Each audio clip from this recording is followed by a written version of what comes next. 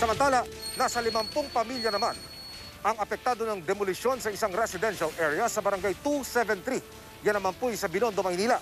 Ayon sa Manila Police District Special Mayor's Reaction Team, binigyan na nila ng sapat na panahon ng mga residente sa lugar para makahanap ng malilipatan.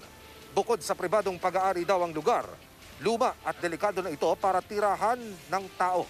Pero, tanong ngayon ng mga residente, saan na sila titira? Huwag naman daw sana silang madaliin dahil wala pa silang malilipatan ngayong may pandemya.